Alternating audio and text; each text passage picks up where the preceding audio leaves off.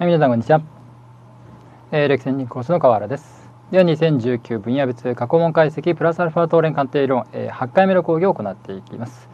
では合冊解説の8回目ですね、8回目の1ページを開いてください。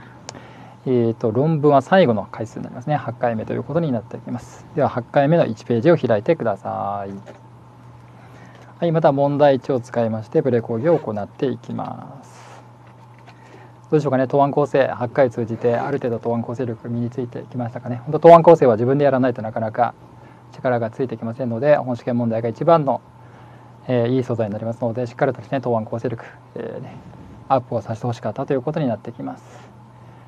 はい。では問題読んでいきます。個別的要因に関する次の各設問に答えなさい。小問の1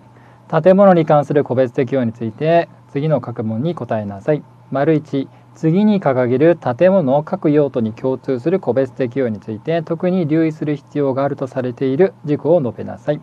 括弧は設計設備等の機能性、括弧い建物の性能、括弧維持管理の状態、括弧へ有害な物質の使用の有無及びその状態、括弧方法上備手法上の規制制約等、丸に事務所ビルの個別的用について留意する必要があるとされている事項を述べなさい。書物に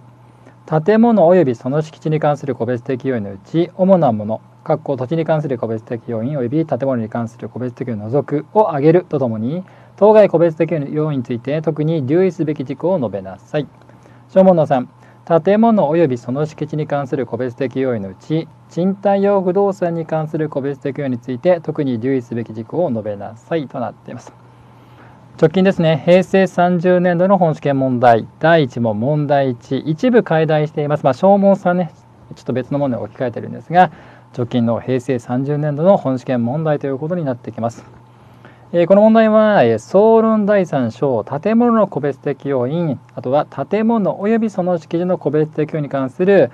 留意事項の理解を中心とした問題ということになってきます。はい、では答案構成していきましょう。まずは小問の1の丸1ですね。えーと、建物の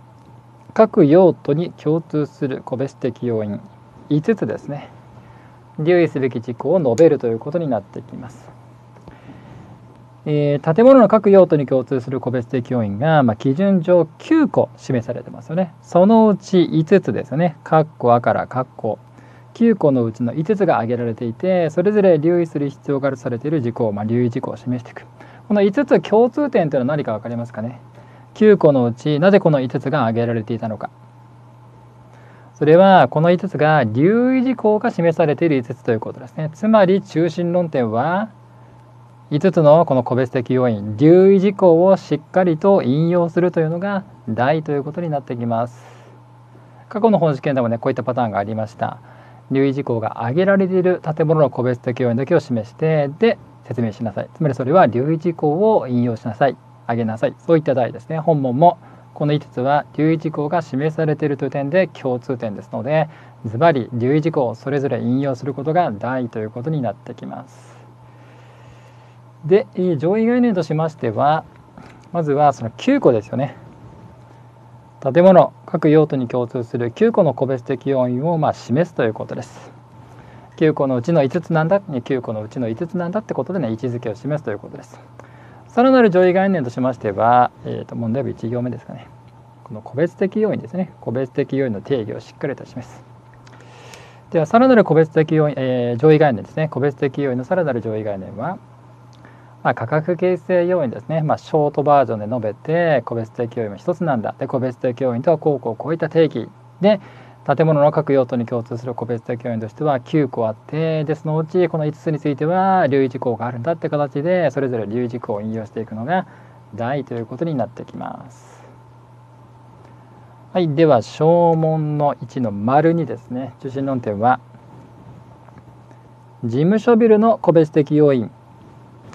留意する必要があるとされている事項を説明するということになってきます。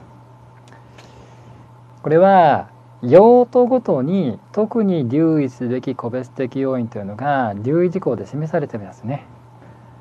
用途ごとに特に留意すべき個別的要因というのが留意事項で示されています。用途というのは具体的には4つですね。4つの用途というのは何と何と何と何か分かりますかね？えー、レジュメ4ページ開いてください。はい、レジュメ4ページ開いてください。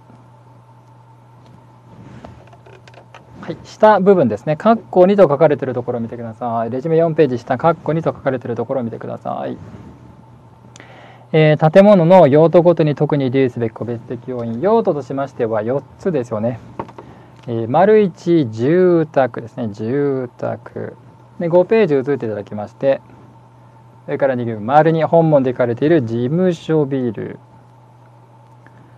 で、丸3、商業施設。で、丸4、物流施設ですね。この4つ。それぞれ特に留意すべき個別的要因が留意事項で示されています。これ、平成26年度の改正論点ということになってきます。まあ、なので、なので平成30年度の本試験でご聞かれたことになってるんですけど、まあ、改正論点危ないということですね。で、この4つのうち、この事務所ビルについて平成30年度に聞かれています。なので残りの3つですよね。えーと、まだまだ出される可能性は十分にありますので、えー、残りの3つ住宅商業施設物流施設、まあ、細かい留意事項なんですけどある程度キーワードを中心にそれっぽい文章は留意事項を引用できるように準備をしておく必要があるということになってきます。本文はこの事務所ビルのこの留意事項をしっかりと引用してほしかったんだということになってきます。でもう一度問題文戻っていただきまして1ページでこれ用途ごとに特に留意すべき個別的要因、えー、ぜひ導入文を示してほしかったんですけど導入文としましてはこれ1回目の講義でも指摘したんですけど要因の問題で重要なのは市場参加者の観点ということですよね。市場参加者が用途ごとに重視すべき、まあ、個別的要因が違ってくるんだ。そういった文言がありますよね。2回目の講義でも流用しました。その基準の文言を導入文として引用してほしかったということになってきます。では小問の2ですね。小問の2、えーと、中心論点は建物及びその敷地に関する個別的要因。主なものを挙げて特に留意すべき事項を指摘するということです。え主なものとしましては具体的には2つですね。2つ。気づきますかね。建物及びその敷地に関する個別的に主なものとしては2つ。2つというのは建物と敷地とのまずは適用の状態ですね、まあ、バランスの状態ですね。あとはもう一つは修繕計画管理計画の領域とその実施の状態ですね。この2つをまずは挙げるということです。でそれぞれ留意すべき事項を説明するということです。修繕計画管理計画の領域その実施の状態。こちらについては留意事項がしっかりとありますのでこの留意事項を引用することが大事です。では建物と敷地との適用の状態バランスの状態ですね。こちらについては特に留意事項がありません。ただ一言やっぱり説明を加えてほしかったということですね。どんな説明どんなキーワードを挙げればいいでしょうかね。バランスとしましては一応2つのバランスが基準上示されています。建物と敷地との適用状態バランス状態。バランス状態としましてはこれ配置のバランスと規模のバランスですね。この2つのキーワード。配置のバランスと規模のバランスです。でこれらを何かの原則を使ってチェックすべきこの原則名をぜひキーワードとして挙げてほしかったんですけど建物と敷地との適用の状態バランスの状態をチェックする諸原則受変代最近収集規定教のうち11個のうち活用すべき原則は均衡の原則ですずばりこの均衡の原則というキーワードを説明として示してほしかったということになってきます。ある意味それがね大ということになってきます。建物と敷地の適用の状態については均衡の原則というキーワードを使って説明をしてほしかったということになってきます。では小問の3ですね。中心論点は賃貸用不動産に関する個別的要因ということになってきます。具体的にはまずは賃貸不動産に関する個別的要因というのは具体的にはキーワード。賃貸経営管理の料費です。賃貸不動産に関する個別的要因というのは賃貸経営管理の料費です。で3つ例示がされてますよね。賃貸経営管理の料費。主なものとして3つ。ぜひこの3つを挙げるということで3つというのは賃借人の状況及び賃貸借約の内容が1つ。2つ目が貸室の稼働状況が2つ目3つ目が、えー、資産区分あとは費用等々の負担区分ですねこの3つの例示を挙げてそれぞれまあ留意すべき事項説明を加えてほしかったということになってきます。賃借人の状況日賃貸借契約の内容については留意事項がありますのでその留意事項をしっかりと引用すればまあ十分です。残りの2つ貸し室の稼働状況と資産区分費用の負担区分。こちらについては留意事項がありません。ただキーワードを中心に一言説明を加えてほしかったということです。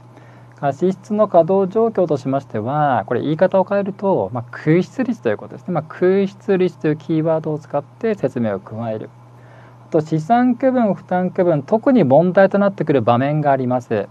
各論第2章の留意事項で示されています。資産区分費用区分が特に問題になってくる場面というのは各論第2章で留意事項で示されている。これスケルトン貸しの場合ですね。是非このスケルトン貸し各論第2章の留意事項から引っ張ってきてスケルトン貸しの場合にはこの資産区分費用区分が特にね。考慮すべき事柄となってくるんだ。そういった説明を加えてほしかったのが第ということになってきます。でこの問題はじゃあ2ページ出題意図のところの第2段落見てください。はい、2ページの出題意図第2段落見てください。平成26年改正にかかる留意事項の暗記の制度以下が点差に現れる問題といえまた留意事項がない項目についてもキーワードを中心に説明を加えることができるかがポイントとなる問題だったんだということになってきます。それぞれ留意事項がなくてもキーワードを中心に説明を加えてほしかったということになってきます。はい、では回答例見ていきましょう。12ページ開いてください。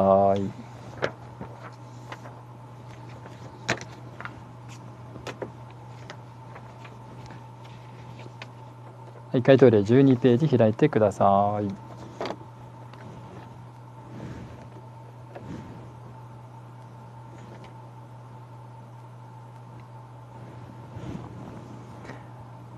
はい、12ページ開いてください。えー、まずは、えー、小問の1の丸1ですね。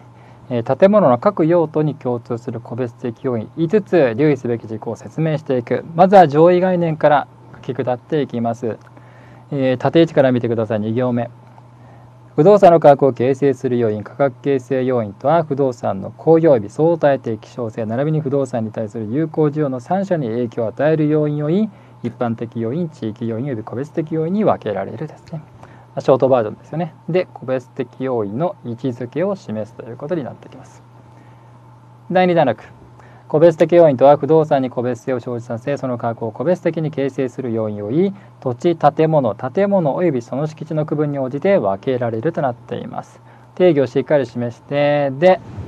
えー、と個別的要因が土地の個別的要因建物の個別的要因さらには建物及びその敷地の個別的要因という形で基準上示されています。分けられて示されています。で本文は小問の1の丸1が建物の個別的要因ですね。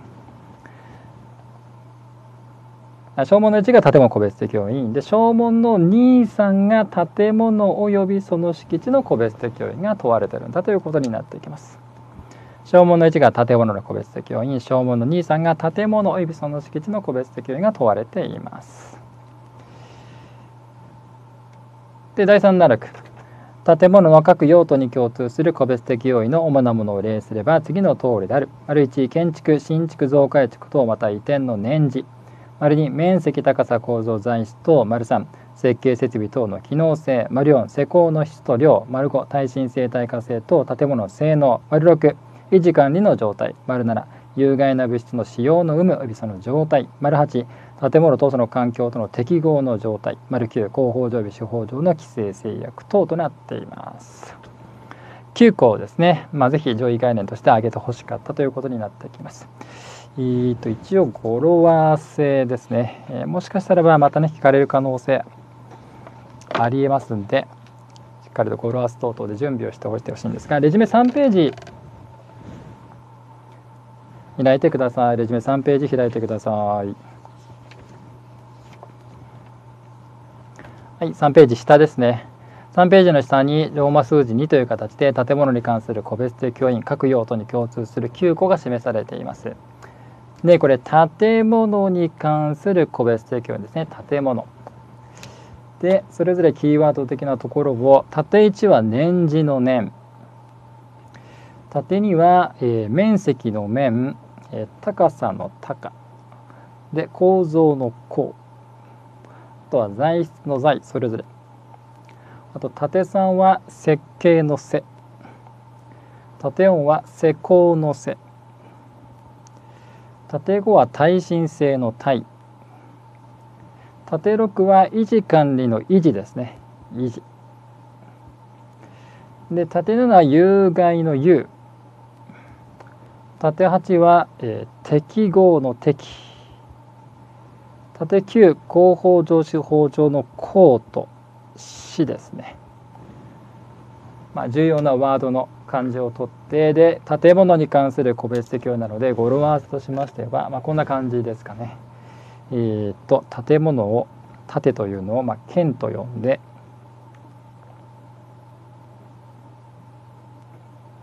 県さんは県さんはえー、年配。年？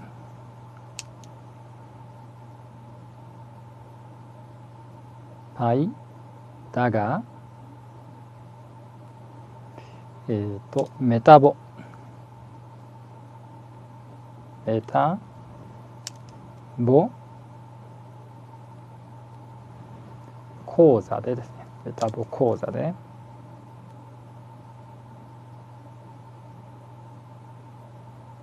講座。でで節制ですね。節制。節制。してして体型。体？型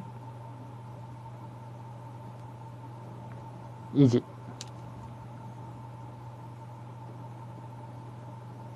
体型維持。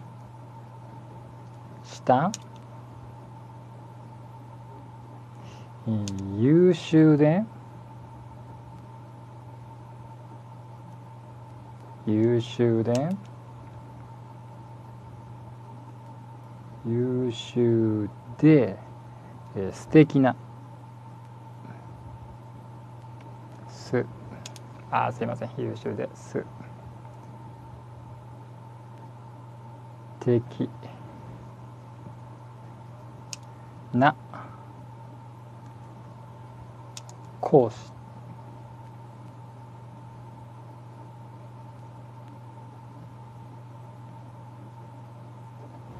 というような語呂合わせになっています。えー、っとケンさんは年配だがメタボ講座で節制して体系維持した優秀で素敵な講師というのは語呂合わせになっています。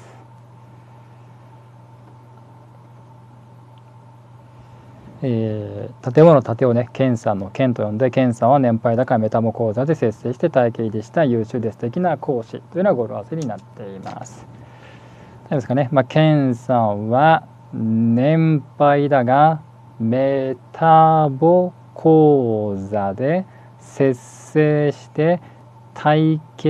維持した優秀で素敵な講師みたいな語呂合わせになっています。まあ、こういった語呂合わせ使っていただいて9個ですね。まあ、世代可能性が高いというわけではないんですが、まあ、個別的要因というのは非常に重要で繰り返し出されていますのであれ？しっかりと準備をしておく必要はあるということになってきます。はい、で回答例また12ページ戻ってください。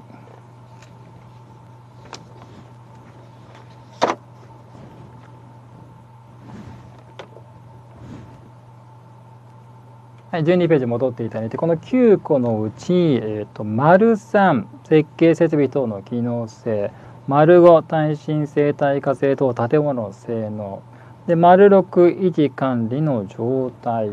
で丸7有害な物質の使用の有無あるいはその状態で丸9広報上司法上規制制約等ですねこの5個について留意事項が示されていますので淡々と引用していくのが大ということになっていきます。はい、下移ってください。縦にというところを見てください。括弧は設計設備等の機能性については各階の床面積天井高床荷重情報通信対応設備の状況空調設備の状況エレベーターの状況電気容量自家発電設備警備用機器の有無省エネルギー対策の状況建物利用における汎用性等に特に留意する必要があるとなっています。えー、特に東日本大震災等々以降についてはこう自家発電設備だったり省エネ対策等々も重視されてますしあと今建物中古建物の流通促進みたいなものをね国を挙げて頑張ってやってるんですけどそういったね中古建物流通設計が例えばこうリフォームとか、ね、そういったものにこう、ね、しやすいような汎用性のあるそういった設計になっているかとかそういったものがこの建物利用における汎用性です。設計等々が汎用性のあるこうリフォームとかしやすいようなそういったものになってるかどうかも今ね重視されてるんだということになってきます。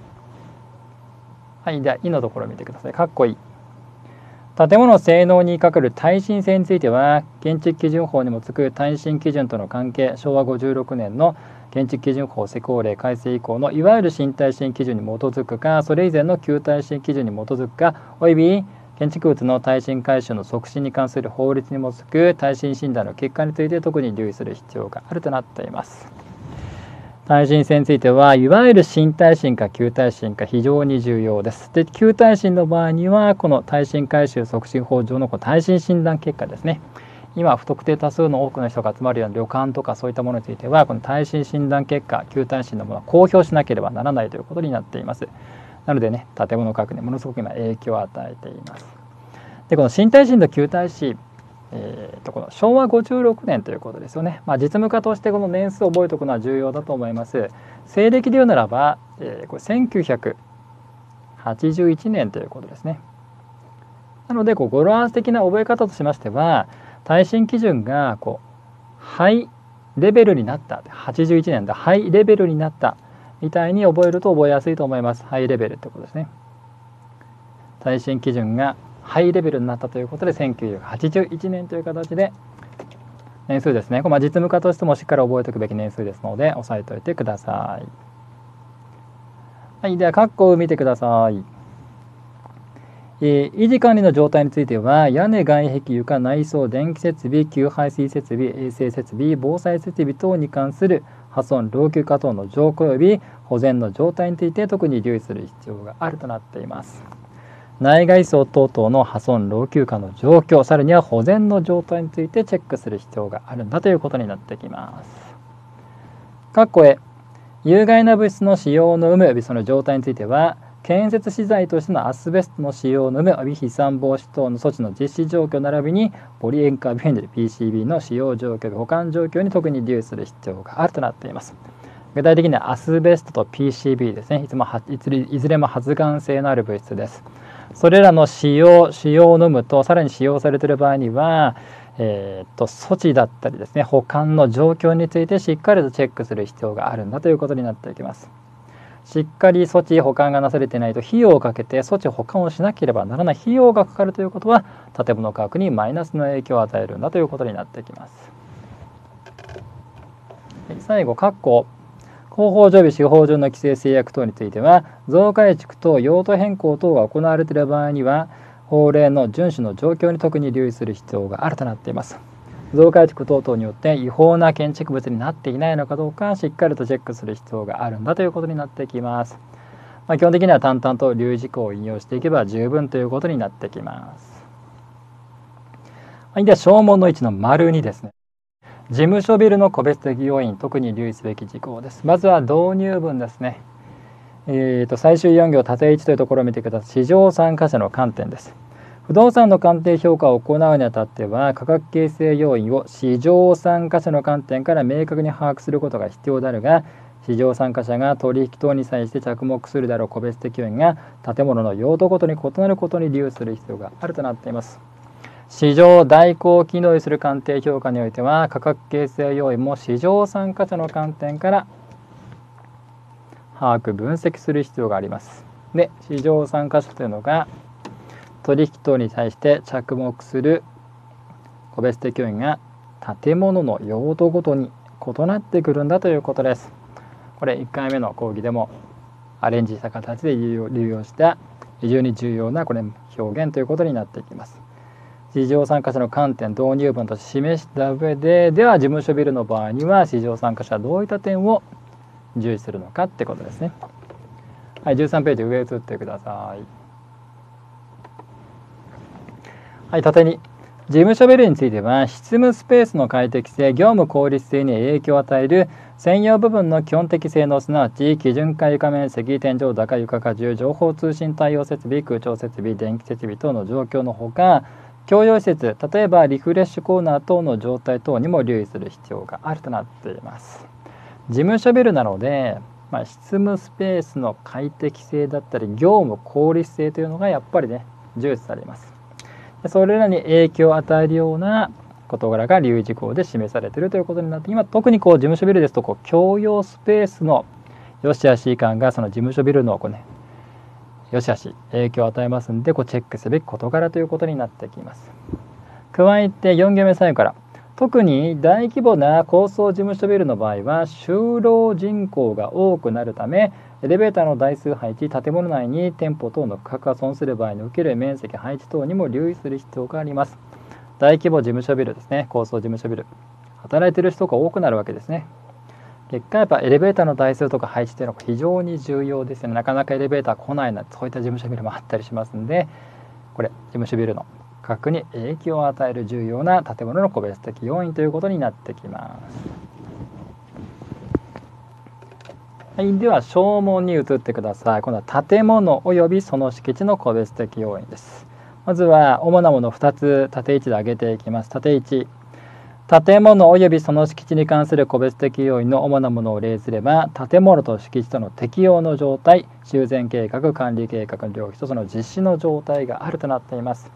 具体的には2つですよね建物と敷地との適用の状態バランス状態あとは修繕計画管理計画両費とその実施の状態ですね修繕計画管理計画というのは土地建物一体として考えるべきなのでその量費と実施の状態というのは建物及びその敷地の個別的要因となっています。ではそれぞれ留意すべき事項説明を加えていきます。縦に建物等と敷地との適用の状態については均衡の原則を活用し敷地内における建物駐車場通路庭等の配置建物と敷地の規模の対応関係等に特に留意する必要があるとなっています。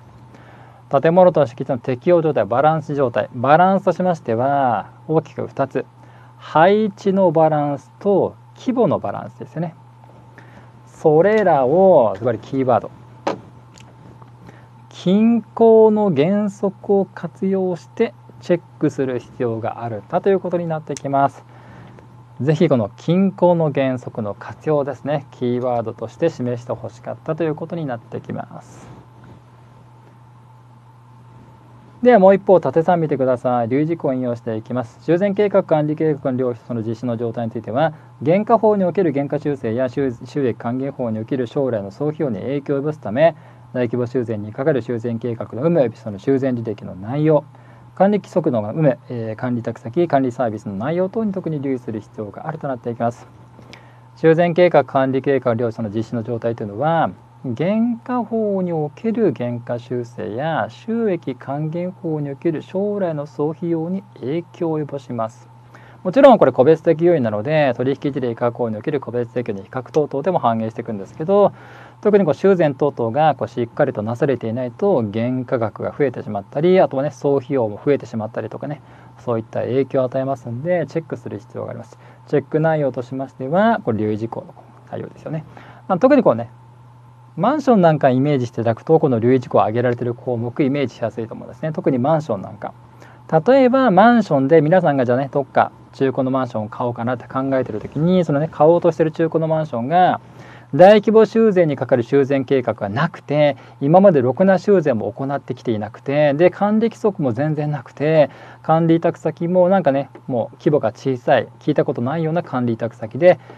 やられてる管理サービス管理サービスの内容もろくなもんじゃないそういったマンションを皆さんじゃあ買いたいと思うかというとそれ嫌だなって思うわけですよね。当然それはマンションつまり建物およびその敷地の価格に影響を与えますんでしっかりとチェックする必要があるということになってきます。はい、では消耗さんを移っていきましょう。はい、消耗さん見てください。建物及びその敷地に関する個別的要因のうち主に収益性によって価格が形成される賃貸用不動産に関する個別的要因には収益性を左右する賃貸経営管理の料費がありその主なものを例すれば次の通りであるとなっています。えー、っと賃貸不動産は代表例がね貸屋敷だったりするんですけど主に収益性によって価格が形成左右されます。なのでこの収益性に影響を与える左右する収益性を左右するこの賃貸経営管理の料費ですねまずはしっかりとこのキーワード賃貸経営管理の料費上げてください。できる限り少ない費用で多くの収益を上げれるようなそういった賃貸経営管理が行われてるか否かが賃貸不動産個別的要因として重要なんだということになってきます。まずはキーワードとして賃貸経営管理の料費上げてで主なものとして3つですよね。しっかりと。縦1賃借人の状況賃貸借契約の内容。縦2貸室の稼働状況。縦3躯体設備内装等の資産区分修繕費用等々の負担区分ですね。しっかりと3つ具体例ですね。例示をするするということになっていきます。でそれぞれ説明を加えていきます。まずは縦1賃借人の状況賃貸借契約の内容ズバリ留意事項があります。賃料の滞納の有無及びその他契約内容の履行状況賃借人の属性業種企業規模と総賃貸可能以下面積に占める主たる賃借人の賃貸面積の割合及び賃貸借契約の形態等に特に留意する必要があるとなっています。この類事項は特にあの賃貸事務所ビルなんかイメージしていただくと分かりやすいと思います。皆さんがじゃあ賃貸事務所ビル投資をしようかなって考えていてその投資物件の一つが例えばテナントが賃料を滞納していました。契約内容履行を守っていませんでした。でそのテナント賃借人の属性としましては、えー、企業規模が小さくて業種としても例えば風俗店とかでって形でそんな賃貸事務所ビルでした。で皆さん投資家でそういった賃貸事務所ビルに投資をしたいと思いますかね。滞納している契約内容を守っていない属性としても規模の小さい風俗店ばかりが入っている賃貸事務所ビル。なかなか積極的に投資をしようと思わないわけですね。つまりこういった事柄が賃貸を不動産収益性を大きく左右しますので賃貸経営管理の領域として個別的要因としてこう重要になってくるんだということになってきます。では過失の稼働状況ですね。説明文貸室の稼働状況は賃貸不動産の将来の収益を予測する上で必要不可欠なものであり価格地点現在の空室率や各からの推移を分析する必要があるとなっています。まあ、言い方を変えれば稼働状況というのは空室率です。まあ、キーワード空室率ですね。過去からの推移現状を踏まえて将来のま空室率を把握してそれを評価にあたって反映していかなきゃ反映していかなければならないんだとの内容ということになってきます。では縦3資産区分負担区分です。えー、格論第2章の留意事項から引用していきます。特に店舗用ビルの場合には賃貸人は躯体及び一部の建物設備を施工するのみで賃貸しスケルトン貸しですね内装外装建物設備の一部は賃借人が施工し修繕費用も負担する場合があるので市場における賃料水準との乖離や修繕費用に影響を及ぼすこれらの資産区分負担区分を考慮しなければならないとなっています。場面としましては特にこうスケルトン貸しの場合ですよね。骨組みだけで貸して内装等々は借り手賃借人が施工するような賃貸形式です。その場合には賃借人が後から施工した部分はそれ賃借人の資産でその部分の費用も賃借人が負担するのが通常です。でそれらが市場における賃料水準との乖離や修繕費用に影響を及ぼすってことですね。えー、っとスケルトン貸しと内装までしっかりと施工した通常の賃貸形式でどちらが賃料水準がじゃ安いかというとそれは骨組みだけで貸しているスケルトン貸しの方が費用がかかってない分賃料というのは水準として安くなってくるわけですね。つまりスケルトン貸しか否かによって資産区分以下によってやっぱり賃料水準も変わってきますし当然スケルトン貸しの場合にはその部分の費用修繕費用等々というのは借り手賃借人が負担するので評価にあたってはそれは考慮外とするとかそういったことをねチェックしていかなければならないんだということになってきます。はい、でこれ個別的要因ですよね。えーと、個別的要因というのは、まあ、3章単品に聞かれるとともに他の章との関連というのが過去の本試験でも繰り返し聞かれています。個別的要因というのは他の章との関連というのが結構聞かれています。特にまあ手法ですよね。鑑定評価の手法の適用における、まあ、個別的要因の反映というのが過去の本試験でもよく聞かれています。これ具体的には6章、えー、個別分析における市場分析ってありますよね。個別分析における市場分析。この個別分析における市場分析結果というのは鑑定評価の手法の適用等々においても反映すべきとの基準があります。まあ、このことですね。個別的要個別分析の市場分析というのは個別的要因の分析ということです。個別的要因の分析結果というのは手法の適用においても反映していくべきなんだ。じゃあどういうふうに反映していくべきなのか具体的に説明しなさいというのが過去の本試験で聞かれています。では一つ具体例としてでは格論第三章との関連考えていきましょう。格論第三章証券化対象不動産の鑑定評価の場面です、えー、証券化対象不動産の鑑定評価収益価格というのはどのように求めるんでしたかね。えっ、ー、と4回目の講義ですかね。やりましたよね。証券化対象不動産の収益価格というのは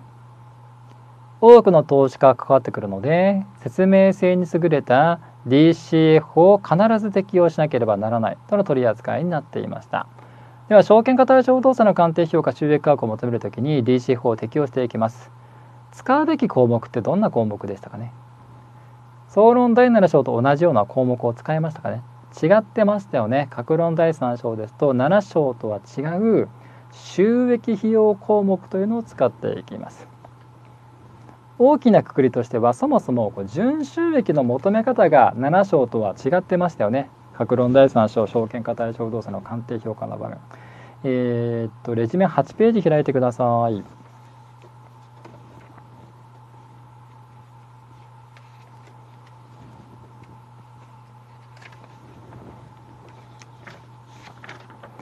はい、レジュメ8ページ開いてください。表のようになっているところ一番最後純収益の定義が示されています。レジマ8ページ見てください。各論第三章証券化対象動産の鑑定評価収益価格を求める際の純収益の求め方が7章とは違っています。各論第三章の純収益というのは定義のところ。運営純収益に一時金の運用益を加算し資本的支出を控除して求めていきます。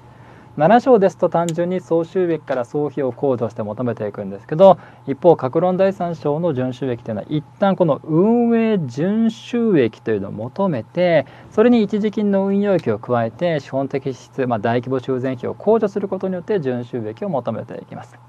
なぜこういった回りくどい求め方要は運営純収益というのを一旦求めるかというとそれはねちょっと休憩の時に考えておいてください。まあ、典型論点と言えます。なぜこういった求め方をするのか。要はなぜ一旦この運営純収益というのを求めるのか。ちょっと休憩中に考えておいてください。でこの運営純収益というのはどのように求めるかと言いますとじゃあ7ページページ戻っていただいて、はい、下から2つ目7ページ下から2つ目。運営純収益というのは運営収益から運営費用を控除して求めていきます。で運営収益項目と運営費用項目というのがずらーっと並べられています。まずはそれぞれ何個あるのか項目数ですね項目数をしっかり押さえることが重要です。えーと、6ページ下のところから見てください。まずは運営収益項目としましては貸出賃料収入、教益収入、ね、7ページ上えー、水道光熱収入駐車場収入その他収入で残りの2つがこれ控除項目ですね。マイナスする項目。クイスト損失貸し倒れ損失ですね。全部で7個あるんですけど最後の2つが控除項目ということですよね。なので一応こう5マイナス2ということですね。7つあるんですけど最後の2つ空損貸し倒れ損失控除項目なんですね。5マイナス2一方費用項目。運営費用項目は7ページ。えー、と上から。維持管理費水道光熱費修繕費プロパティマネジメント費テナント募集、えー、テナント募集費用と高層効果損害保険料その他費用ですね。1、2、3、4、5、6、7、8個。8個ですよね。えーと、費用項目は8個ですよね。それ語呂合わせとしましては項目数。えー、これ「こんにちは」という形でまずは項目数8個ですよね。まあ暗記の取っ手代わりもなるんですけど8個しっかりと押さえるということです。こんにちはという形で項目数を押さえてで費用項目ですかね費用項目7ページ。えー、一応語呂合わせですね。えっ、と費用項目ですね。運営費用項目全部で8個ですよね。えーと、語呂合わせとしましては維持管理の「い」で水道光熱費の水。で、えーと、修繕費の修繕。あとはプロパティマネジメントのプロ。とテナント募集費の手。であとはコース効果の子。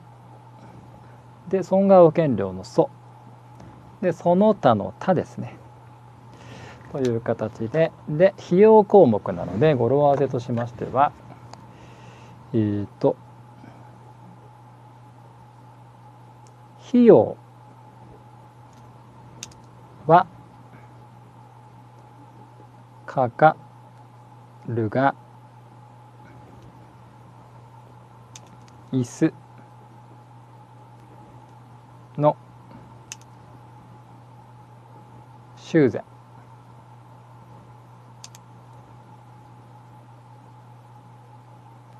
修繕はプロ。プロ。の。手こそ。手こそ。大切ですね。大。切。といった語呂合わせということになってきます。費用がかかるが椅子の修繕はプロの手こそ大切というような語呂合わせになっています。大丈夫ですかね。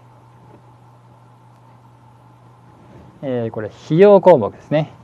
費用はかかるが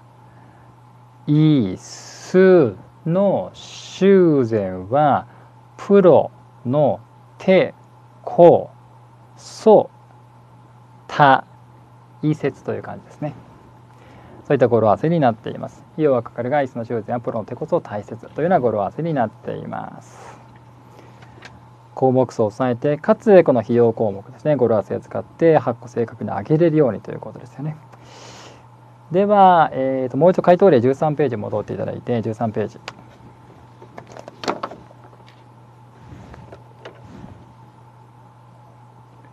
ではこの正門さんの賃貸経営管理具体例例示として挙げたこの賃借人の状況賃貸借契約の内容貸しの稼働状況、えー、資産区分負担区分ですねこの3つと収益用項目の関連ですねこの3つが特に影響を与える収益用項目というのをじゃあ考えていきましょう。えーとまあ、いろいろ考えられるんですけどじゃあまずは説明にあたっては特にこの収益用項目との関連が問われた場合には収益用項目の定義を示した上でそれをヒントにこの個別的要因の反映を説明していくって感じですかね。特にこの各論第3章収益用項目が関連として聞かれた場合にはまずはしっかりとそれぞれの収益用項目の定義をしっかり述べてその定義をヒントにしてこの個別的への反映というの影響というのを考えていくということになってきます。まずはじゃあ賃借人の状況賃貸借の内容じゃあ貸出賃料収入で考えていきましょう。貸出賃料収入です、えー、貸出賃料収入、えー、と定義としましてはもう一度。6ページ。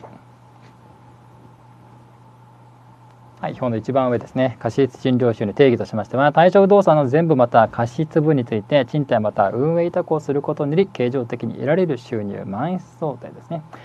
えー、こう DC 法なので将来予測をしていかなきゃならないので、まあまあ、要は現状の賃料が今後もまあ持続できるのかしっかりとチェックしていく必要があります。貸出賃料収入の査定にあたっては現行賃料の継続性というものをチェックしていく必要があります。でその際にもう一度この13ページ。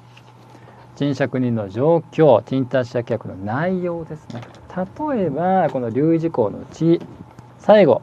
賃貸借契約の形態とありますよね。賃貸借契約の形態。ありますよね。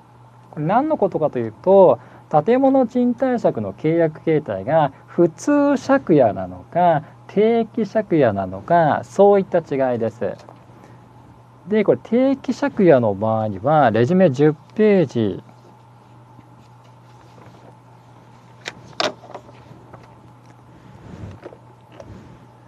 はい、レジュメ10ページ一番上1行目またというところを見ていただいてレジュメ10ページ一番上また書きのところ。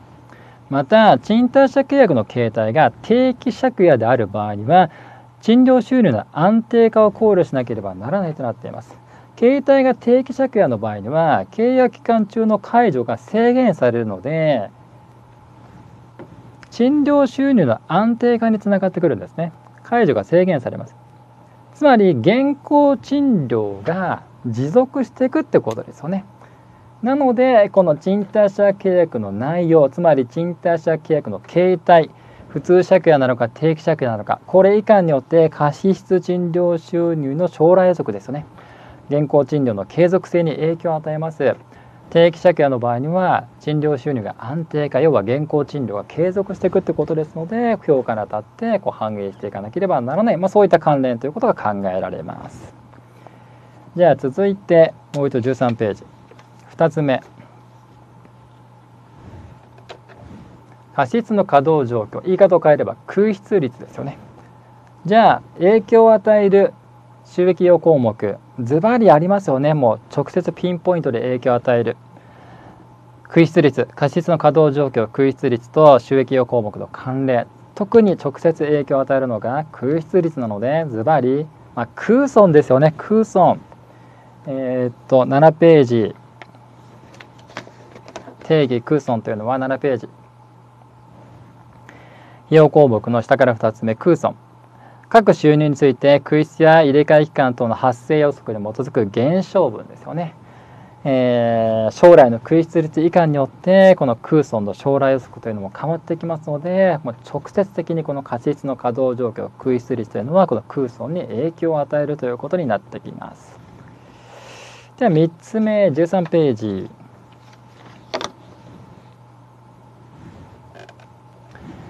えー、資産区分費用等々の負担区分です。じゃあ負担区分の方でいいですかね。先ほど市場における賃料水準の乖離や修繕費用にも影響を与えます。ってことは収益用項目のうち特に影響を与えるものとしては修繕費用ということで修繕費ですよね、えー、ともう一度7ページ。えー、定義としましては費用項目の3つ目修繕費7ページ。対象不動産にかかる建物設備等の修理改良等のために引いた金額のうち当該建物設備等の通常の維持管理のためまた一部が既存した建物設備等につきその現状を回復するために経常的に要する費用ですよね。ただしこれは所有者が負担すべき修繕費費用です。スケルトン貸しの場合には後から施工した部分はそれ賃借人借り手が修繕費費用負担しますのでこれ評価にあたっては修繕費として計上する必要がないということですね。これ影響を与える項目なんだということです。まあ、こういった形でこの個別的要因というのは他の章例えば各論第3章でいうところのこの収益用項目との関連ですね影響聞かれたりしますんでこの具体的に挙げられるように考えられるように、まあ、定義等々をヒントにして説明ができるように例えばじゃあ考えておいてください。例えば小問の1で挙げられていたこの括弧維持管理の状態。じゃあこれが各論第三章収益用項目にどういった影響を与えるのか。こう自分なりにねちょっとね休憩時間考えておいてください。はい、ではこの類似問題ですね。この類似問題問題にですね、まあ、休憩をしていただいて8回目の問題用紙と回答用紙使いまして問題について1時間で回答を作成するようにしてください。では問題1の解説を終了いたします。